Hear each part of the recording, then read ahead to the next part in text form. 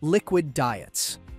In the quirky realm of diet trends, liquid diets have made quite the splash, beginning as early as the 1820s, with Lord Byron's love affair with vinegar. Yes, the brooding poet not only penned verses but also guzzled vinegar in an effort to stay sinfully svelte. His method was simple yet stomach-churning. Daily doses of vinegar thought to dissolve fat as effectively as his poetry dissolved the hearts of 19th century groupies. Lord Byron, weighing in at around 194 pounds, managed to slim down to about 137 pounds on this acidic regimen. While the diet did cut down his waistline, it probably didn't do any favors for his tooth enamel or his digestive tract, which had to endure the harsh realities of vinegar's pH levels daily. Fast forward to the 1940s, and the liquid diet evolved into a spicier, yet no less dubious concoction known as the Master Cleanse. Dreamed up by Stanley Burroughs, who had no formal medical or nutritional training, this regimen promised to detox the body and shed pounds fast. Participants were instructed to live off a brew of lemon juice, maple syrup, cayenne pepper, and water, completely eschewing solid foods for 10 to 40 excruciating days. Not only did this diet lack any scientific backing, but it also required a saint-like resistance to hunger. Celebrity endorsements in the early 2000s brought the Master Cleanse back into the limelight, with claims of rapid weight loss and spiritual renewal. Yet any weight lost on this draconian diet was largely due to muscle depletion and dehydration, a high price to pay for a temporary dip on the scales.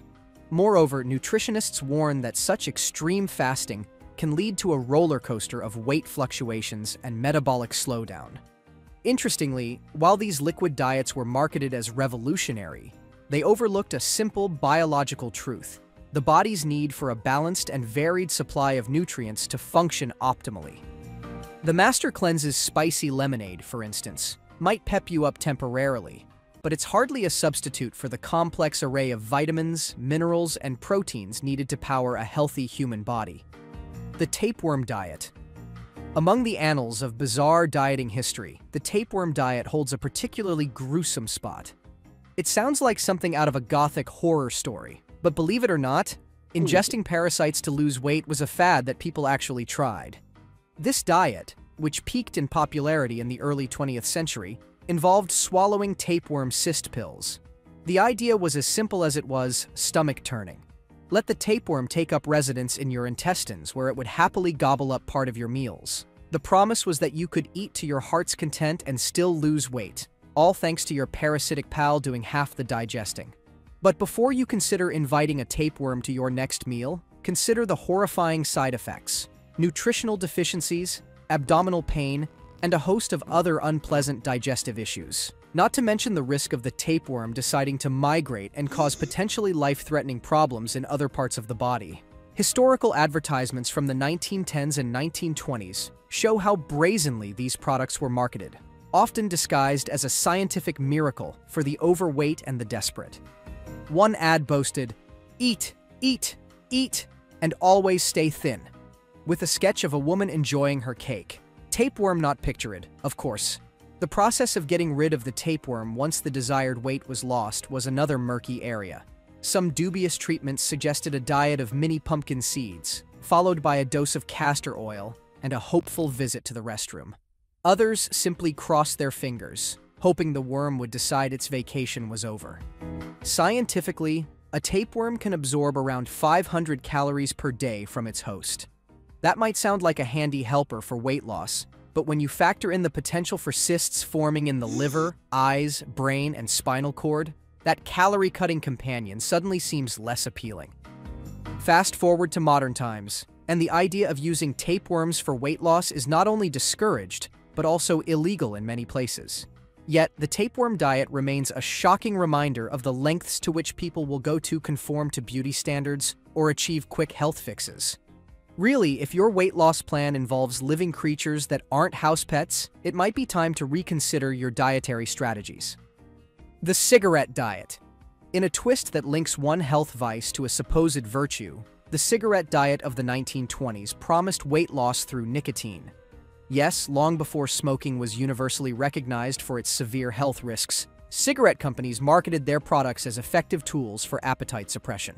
The mantra was simple Reach for a cigarette instead of a sweet. The origins of this diet can be traced back to advertising campaigns by tobacco companies. One of the most infamous ads from Lucky Strike cigarettes had the slogan, Reach for a Lucky instead of a sweet. It wasn't just about selling cigarettes. It was about selling a lifestyle where smoking was not only chic, but also beneficial for maintaining one's figure. Here's how the supposed science worked. Nicotine, a stimulant found in cigarettes, was touted for its ability to suppress appetite. Smokers would theoretically feel less hungry and therefore eat less. However, this benefit came at a colossal cost. Increased risk of lung cancer, heart disease, stroke, and a plethora of other serious health conditions. During the 1920s and 1930s, the cigarette diet gained traction among celebrities and the social elite, further fueling its popularity. Magazines and radio ads were plastered with glamorous stars who credited their slim figures to smoking. What wasn't mentioned were the long-term health repercussions that many of these celebrities would face, a dark side overshadowed by the glitz and glamour of Hollywood. Scientifically, while nicotine does have a mild appetite suppressant quality, the idea of using cigarettes as a diet aid is profoundly flawed. Smoking can increase metabolism slightly, but it does so by stressing the body, particularly the heart, which must work harder to manage the toxic impacts of smoke inhalation. Ironically, as the harmful effects of smoking became impossible to ignore, public health campaigns began to do battle with tobacco advertising. By the late 20th century, the narrative had shifted dramatically, and smoking was no longer seen as a lifestyle choice, but rather a dangerous addiction with significant health consequences. Today, the idea of recommending smoking for weight loss sounds ludicrous, if not downright dangerous. In the end, the only things getting lighter were the wallets of those who bought into this smoky scheme. The Sleeping Beauty Diet. If you thought diets couldn't get any stranger, hold on to your nightcaps the Sleeping Beauty diet took laziness to a whole new level, literally sleeping yourself thin. Yes, this diet advocated sedation as a weight loss method, because if you're sleeping, you're not eating. Pretty simple, right? And just a little bit bonkers. Popularized in the 1960s and 1970s, the diet was reportedly a favorite among celebrities and those looking for a way to avoid the pesky annoyance of, well, conscious hunger. The theory was straightforward. By sleeping for days at a time, you'd miss out on several meals, hence reducing your calorie intake. Elvis Presley, the king of rock and roll himself, was rumored to be a fan, which might explain some of his less energetic late career performances. Participants of this diet would take sedatives to sleep for up to 20 hours a day, over a few days. Medical mm -hmm. professionals were not involved in this process, because frankly, which doctor would prescribe more sleep as a cure for a tight waistband? However, the Sleeping Beauty diet overlooks a few small details. 1. The human body needs food. It turns out our bodies like to eat regularly to function. Go figure. 2. Muscle loss. Lying in bed all day doesn't just burn fat, it also depletes muscle strength. On the upside, you'd be too weak to make it to the fridge when you finally woke up. 3. Mental health. Prolonged sedation can affect your mental well-being. Turns out, being unconscious for most of your life isn't great for your brain, or your social life. Health risks aside, the diet also failed to account for what one might eat during their awake hours. It's not much of a strategy if you wake up from a 20-hour slumber and eat an entire pizza because, well, you missed a couple of meals and feel like you deserve it. The Sleeping Beauty diet gradually faded from popular culture, as more was understood about the importance of active lifestyles and balanced nutrition. Plus, it's hard to enjoy life's finer things, like, say, being awake if you're always asleep. It's clear the Sleeping Beauty diet was more of a fairy tale than a feasible weight management plan.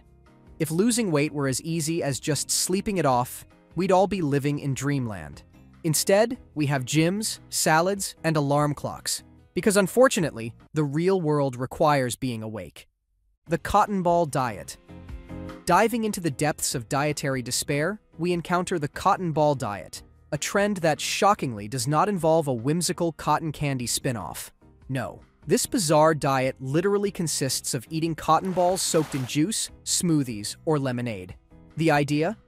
Fill up your stomach with indigestible fibers which have zero calories and, Unsurprisingly, zero nutrients. This peculiar diet peaked in popularity in the 2000s, particularly among teenagers and models who were desperate for a quick-fix solution to suppress their appetites. The trend was disturbingly simple. Pop a few cotton balls before a meal, and you'll feel so full that you'll skip eating real food. What could possibly go wrong with replacing dinner with your bathroom cabinet supplies? Well, a lot actually.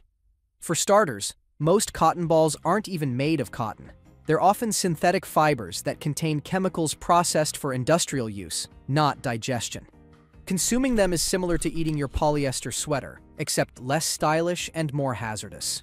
The health risks associated with this diet are numerous and severe. Eating cotton balls can lead to obstructions in the digestive tract. These can be life-threatening and might require surgical intervention. Malnutrition. Since cotton balls offer no nutrients, relying on them can deprive your body of essential vitamins and minerals. Chemical poisoning. Again, these aren't organic cotton balls fresh off the cotton farms. They're often bleached and treated with chemicals. From a medical standpoint, any weight loss achieved through this diet is not sustainable and is overshadowed by the potential damage caused. The cotton ball diet is a dangerous gamble with one's health, highlighting the extreme lengths to which people will go to conform to certain body images propagated by society and media. Despite its dangers, the diet attracted attention on social media, where influencers and desperate dieters shared their experiences and unfortunately spread the trend. It serves as a stark reminder of the power of influence and the importance of critical thinking, especially when it comes to health advice online. As bizarre as chowing down on cotton sounds, the cotton ball diet is a real, if regrettable, blip on the radar of fad diets. It underscores the importance of educating young and impressionable individuals about the value of nutrition and the dangers of disordered eating practices. In the grand menu of diet plans, the cotton ball diet is one dish that should definitely be skipped. Living on light diet. Breatharianism takes the concept of dieting to an almost mythical level proposing that it's possible to live on nothing but light and air. Advocates of this idea claim that through a process called pranic nourishment, the body can sustain itself solely by absorbing prana, which they define as the vital life source in Hinduism, available from sunlight and air. The origins of this idea trace back to ancient mysticism, but it gained modern attention in the 1970s with the emergence of figures like Wiley Brooks. Brooks later founded the Breatharian Institute of America, asserting that he lived on just light and occasional junk food treats for balance. Another prominent advocate, Jasmuheen, formerly Ellen Grieva, has claimed since the mid-1990s that her body has been reprogrammed by her brain to receive nutrients from a different source, other than physical food. She suggests that after an initial 21-day conversion process, involving liquid fasting and controlled breathing, one can convert to living on light alone. However, Jasmuheen's assertions have faced intense scrutiny and criticism, particularly after a few of her followers died attempting the initial fasting protocol she recommended. One notorious case involved Verity Linn, a 49-year-old Australian woman whose diary revealed she was following Jasmuheen's 21-day fasting instructions when she died of hypothermia and dehydration in 1999. Scientifically, human biology unequivocally requires water, calories, and nutrients to function. Doctors and nutritionists point out that the human body uses energy in the form of calories from food to maintain vital functions and perform daily activities. For instance, the average adult needs roughly 1,200 to 1,800 calories daily to maintain basic physiological functions. Additionally, water is critical for maintaining blood volume, regulating body temperatures, and allowing cellular functions. The absence of water can lead to dehydration, resulting in kidney failure, confusion, and even coma. Breatharian promoters often cite anecdotal evidence or personal testimonials as proof, but no scientifically verified case exists of anyone living on light alone without eventual health consequences. Clinical studies by organizations such as the British Dietetic Association and statements from medical professionals consistently debunk these claims, citing the impossibility of humans photosynthesizing sunlight into energy as plants do. The enduring appeal of breatharianism may lie more in its spiritual underpinnings than in any feasible dietary practice. It speaks to a deep-rooted desire in some to transcend the physical needs of the body, reflecting broader themes found in many religions and spiritual practices. This, however, does not mitigate the dangers of attempting such a lifestyle, which can have severe or even fatal health risks. The Fletcherizing Diet Enter the world of Horace Fletcher, an American health food enthusiast of the late 19th and early 20th centuries, who earned the nickname the Great Masticator. His dietary philosophy, which shook the tables of Victorian America, was simple. Chew your food until it becomes liquid. Fletcher believed that excessive chewing would lead to better digestion and absorption of nutrients, thus reducing the amount of food needed to maintain health and vigor. Fletcher proposed that each bite of food should be chewed about 32 times, or once for each tooth, though he often recommended up to 100 chews per mouthful. He argued that by turning food into a liquid, the body would more efficiently assimilate nutrients, and surprisingly, it wasn't entirely baseless.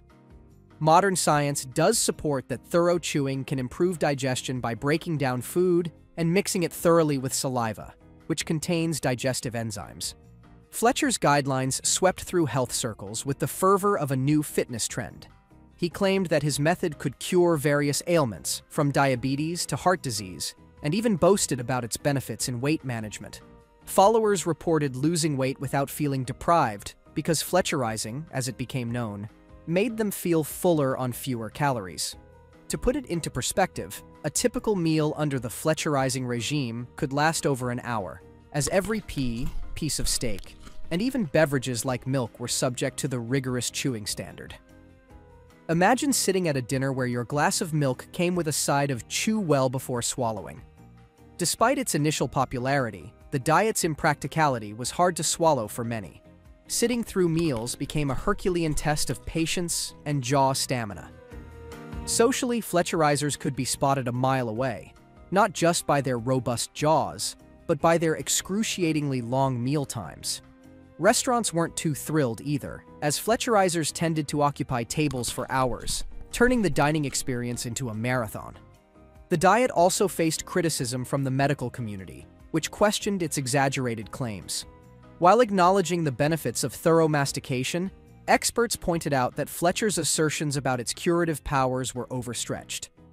Additionally, the diet overlooked other crucial aspects of nutrition, such as the balance of macronutrients and the importance of a varied diet. By the 1920s, the Fletcherizing movement had lost much of its bite, as quicker, more practical diets gained favor. However, Fletcher's emphasis on mindful eating and the digestive benefits of chewing thoroughly left a lasting impact on dietary practices. It laid early groundwork for what would later become more holistic approaches to eating, reminding us that sometimes good health might just start in the mouth the Last Chance Diet. In the 1970s, a diet emerged that was so risky, it was fittingly named the Last Chance Diet. This extreme weight loss method entailed consuming a very low-calorie protein drink as the sole source of nutrition. The drink, made from pre-digested collagen, was not your typical protein shake found in today's health stores. It was sourced from slaughterhouse leftovers that were unfit for conventional consumption. The concoction, marketed as Prolinn, boasted it could offer all the benefits of fasting while still providing essential nutrients. The Last Chance Diet was the brainchild of Dr. Roger Linn, who in his 1976 book promised rapid weight loss for those who had exhausted all other options. The diet attracted hundreds of thousands of hopefuls, drawn by the allure of an easy solution to their weight struggles. Dr. Linn recommended consuming as few as 400 calories a day of his Prolinn drink, which lacked many essential nutrients and contained potentially toxic substances due to its dubious source materials. Here's where the perils come into sharp focus. The diet's extreme calorie restriction and nutritional inadequacy led to numerous health problems. Reports began surfacing of dieters developing heart issues and other severe complications. The most alarming consequence was the link to sudden heart failure. By the end of the 1970s, the diet was implicated in at least 60 deaths. Despite the severe risks, the popularity of the Last Chance diet showcased the desperate measures people would consider for weight loss. The FDA eventually stepped in, and by the early 1980s, Prolinn was pulled from the market, and strict regulations were imposed on similar weight loss products. This intervention highlighted the need for greater oversight in dietary supplements and weight loss aids, which until then could skirt the scrutiny applied to pharmaceuticals. If you enjoyed this video, please support us by subscribing to the channel. It means the world to us.